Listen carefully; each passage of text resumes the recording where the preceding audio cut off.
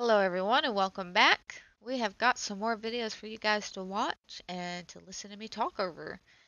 So, let's go and get started, shall we? we got some goats out in the field. Oh, we're being spooked.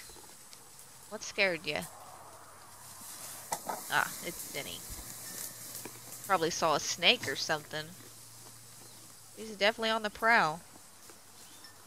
Spooked all the goats right out of there. What are you after, dog? Oh, she looks so young. Probably a year old in this video.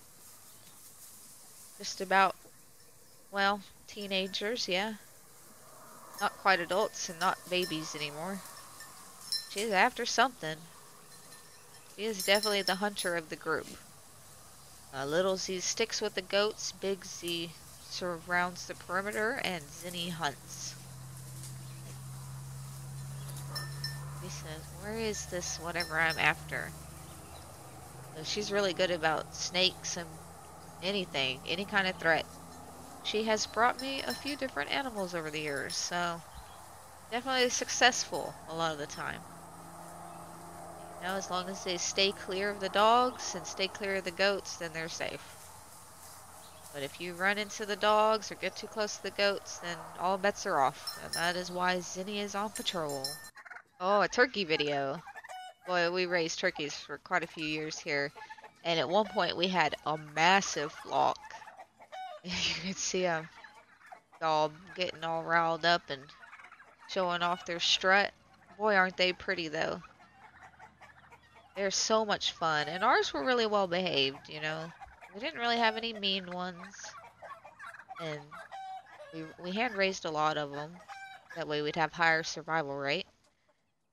And I do have to say, we, we did slaughter and eat some, and they were delicious. And they were raised very nicely and well and had real good lives. And we kept a few towards the end, and uh, eventually we just had one pair, old Frank and his girl. And then we had Frank until he passed from a natural death. So, they were good turkeys. Very good turkeys. Oh, I got a birth video for you this week, so fair warning if you're not into watching birth. Uh, this is definitely a birthing video. This is Hot Spot. She is so cute. A little smaller than I like my Nigerian dwarves, but very well put together. And this looks like her first kidding. She looks like a young doe. We have a nice sunny day at least. Can't complain there. Got good pushes there. Push. Push. So that's active pushing. If there is not progress when you see that and pretty quickly, then you might have an issue. As you can see, we're working our way out. Oh, it's such a tight fit. So one foot is forward and you can see the nose and I think that's the other foot right behind and that's a normal presentation. Oh, bless her heart. So you can see she's got both feet and the head. Almost there. Oh, so tough. This is a it's a tough job to do, but it's better to let them naturally stretch and naturally slowly birth and try to, you know, manipulate or assist unless there's no progress being made. But you can see here she's making good progress and we're going to have baby come out. Ugh. Poor thing. My goodness.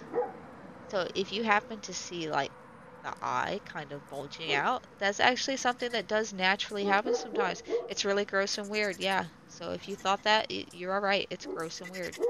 But it's totally normal and it doesn't hurt anything. And you can see baby is out. And breathe in and mama said, what the heck just happened? I don't have a clue. Everybody's coming to look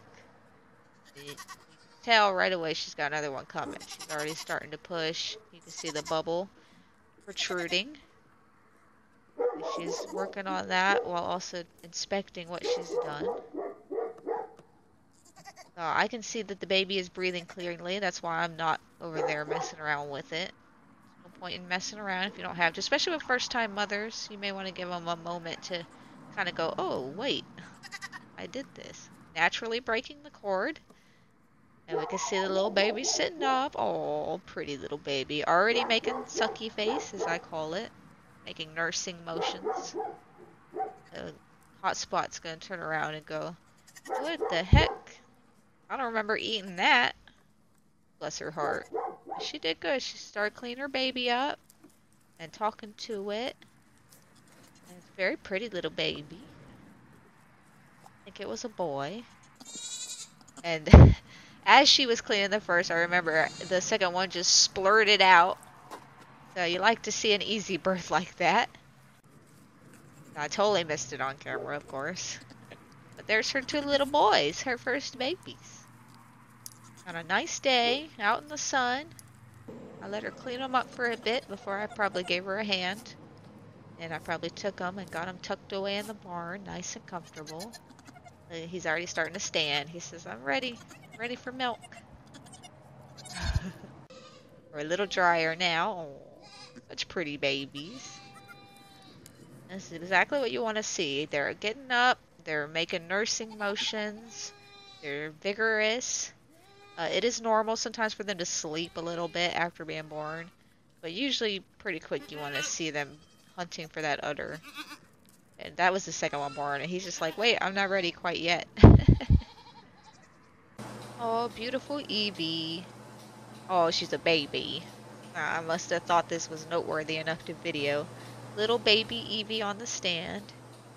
And we got some more does, mostly manchies. Oh, look at that booger. That's so nasty. They got some alfalfa meal in their bowls. That's what all that green dust on their faces. She's so tiny, look at her. She's like, I want a fair share. I can do this. They learn pretty young how to use the stand, and then it's not a big deal when it's time to be milked.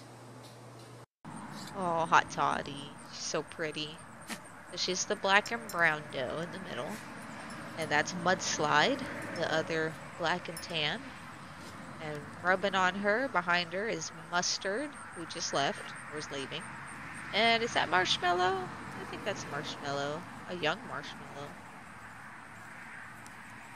Loving on her. That was quick. My goodness. Well, I hope you guys enjoyed this week's videos. And we will see you next week. Have a great day.